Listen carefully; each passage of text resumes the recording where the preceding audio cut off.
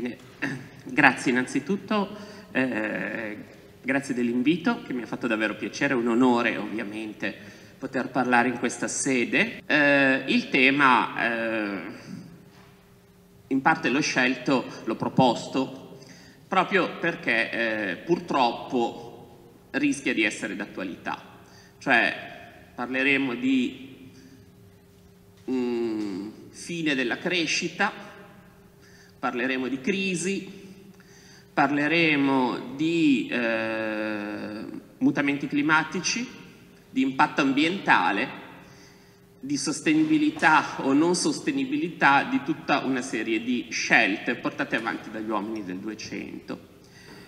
Questi, questi anni, questi anni difficili che culminano in modo drammatico quella grande peste nera del 1348, quella che tutti conoscono perché è in quelle tremende e bellissime prime pagine di Giovanni Boccaccio, del Decamerone, una eh, malattia eh, devastante, forse la più pesante pandemia, cioè epidemia su larga scala che l'umanità abbia conosciuto. Eh, difficile calcolare quanti milioni di morti abbia fatto, ma insomma si calcola che eh, solo in Europa sia scomparso circa un terzo della popolazione, il che vorrebbe dire fra i 20 e i 25 milioni di persone in tre anni. I contemporanei si interrogavano sul perché, sul perché diciamo immediato, ma anche sul perché metafisico di un disastro del genere e tutto sommato anche gli storici. Questa grande domanda è passata anche agli storici. Non che gli storici ovviamente eh, si chiedessero i motivi astrali o teologici, ma come, che giudizio storico dare della peste? Cioè, come rientra una cosa del genere nella storia dell'umanità?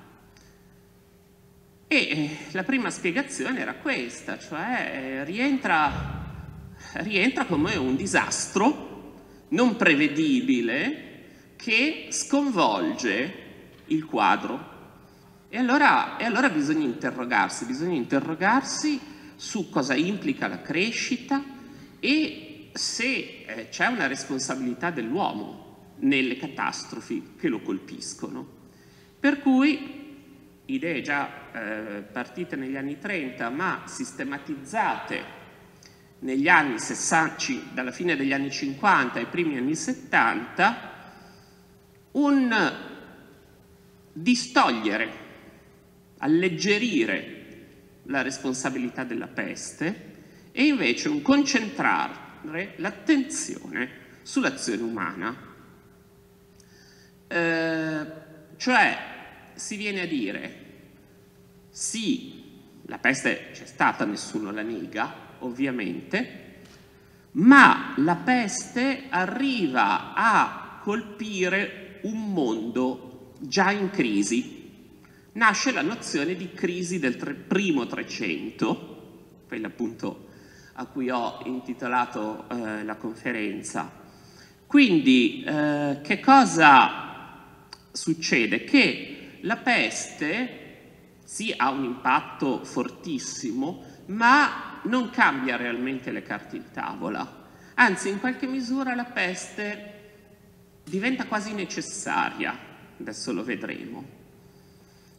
E eh, l'ispirazione eh, per giustificare la crisi di questa crescita, la fine di questa crescita, viene presa eh, nell'opera di un grande economista settecentesco britannico, cioè Thomas Malthus, quello che vedete raffigurato a sinistra nella slide, e Malthus aveva formulato una eh, ipotesi di lavoro molto semplice cioè che eh, mentre la popolazione tende a accrescersi in maniera geometrica, quindi raddoppiando ogni generazione, 2, 4, 8, 16, le risorse tendono a crescere in maniera aritmetica, cioè sommando a ogni generazione 2, 4, 6, 8, 10, 12.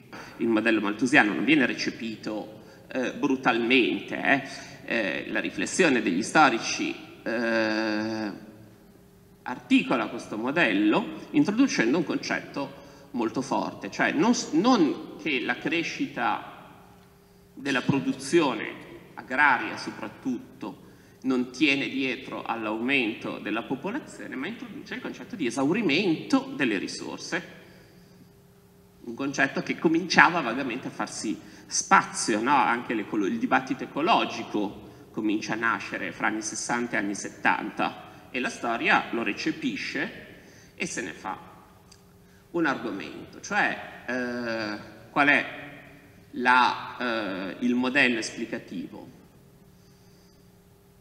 Noi possiamo, aumenta la popolazione, deve aumentare anche la produzione agricola per sfamare questa popolazione. Ora, noi possiamo aumentare la produzione in due maniere. Possiamo aumentare la produttività oppure possiamo mantenere la stessa produttività e aumentare la produzione allargando gli spazi coltivati. No, beh, mi spiego. Facciamo un esempio contemporaneo. Produco automobili. Se voglio raddoppiare la produzione di automobili, posso introdurre tutta una serie di miglioramenti, robot, eh, nuovi, l'informatizzazione in maniera che la stessa fabbrica produca il doppio di automobili nello stesso tempo, Oppure posso non fare niente di tutto questo e aprire una seconda fabbrica di automobili. Ecco, il modello medievale, il secondo, non si aumentava la produttività dei campi, se non in maniera irrisoria, ma si trovavano nuovi campi. No? Questo è eh, il celeberrimo affresco eh, sugli effetti del buon governo di Ambrogio Lorenzetti, conservato a Siena, e eh, gli effetti del buon governo nelle campagne ci mostrano questo paesaggio mh, mm, abbastanza realistico e come vedete completamente eh, modellato dall'uomo. No? C'è qualche bosco lontanissimo sullo sfondo, eh, scusate, ho sbagliato tasto, questo, vedete, sì, qualche bosco lontanissimo c'è, ma nelle vicinanze della città tutto è stato tagliato e ridotto cultura. Questo porta a quello che eh, gli storici italiani hanno definito il circolo vizioso dell'agricoltura. Non è che non lo capissero nel Medioevo, ma una volta entrati nella trappola non si poteva uscirne, cioè bisognava comunque continuare, perché interrompere avrebbe voluto dire, sì, magari in 3 o 4 anni ci si riprendeva, ma sarebbero stati 3 o 4 anni di carestia durissima e quindi non ce lo si poteva permettere. Alla fine la società europea del 300 è una società già in crisi, già pericolosamente in crisi, in cui la catastrofe maltusiana incombe. In questo senso, paradossalmente, e anche qui un grande storico divulgatore, Carlo Cipolla, che forse qualcuno di voi conosce come studioso della stupidità, eh, perché ha scritto questo piccolo bestseller sugli stupidi, ma in realtà è stato un grande storico economico, oltre che dire, un arguto punzecchiatore. Eh, ecco, Carlo Cipolla eh, presenta e diffonde quest'idea appunto della provvidenzialità della peste.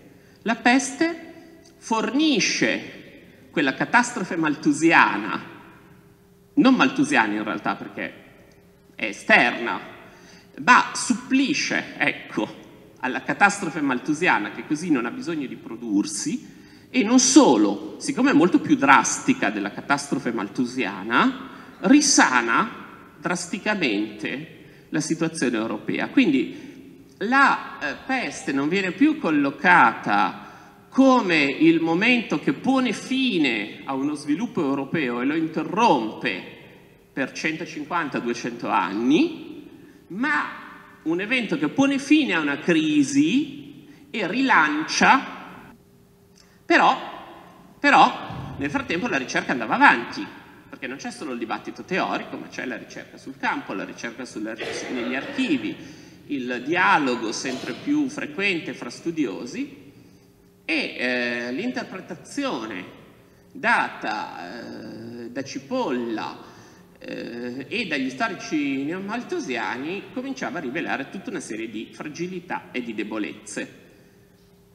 Per esempio, quando ci si è messi a contare le carestie, qui vi ho fatto una tabellina, le grandi carestie, secondo le ricerche più recenti, se le scandiamo per cinquantenni scopriamo una cosa interessante. C'erano anche prima che di, di, quel momento, cioè la fine del 200 e gli inizi del 300, in cui si sarebbe dovuta verificare questo squilibrio fra eh, popolazione e risorse.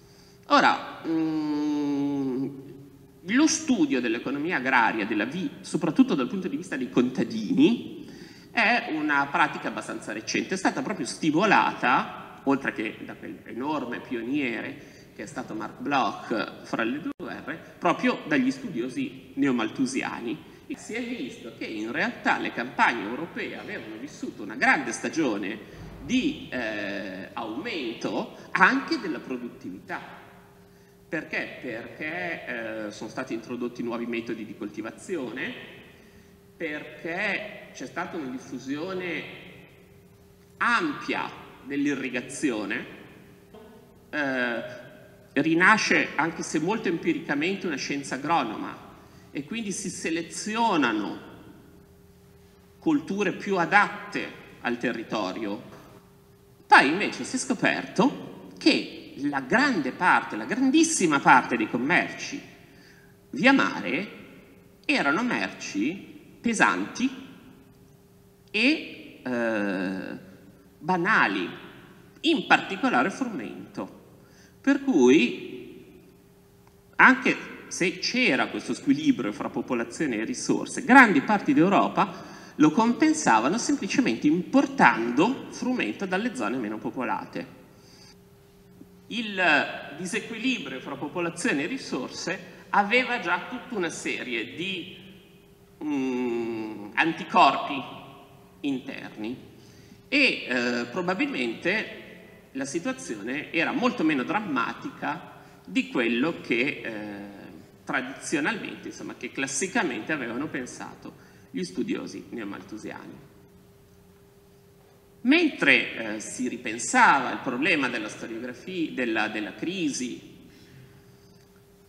e si ripensavano alle interpretazioni neomaltusiane, succedeva un'altra cosa, che gli scienziati per i fatti loro, senza dialogare con gli storici, stavano sviluppando tutta una serie di tecniche per indagare sul passato della Terra attraverso non la testimonianza degli uomini, come si era fatto fino a quel momento, ma attraverso la memoria della natura.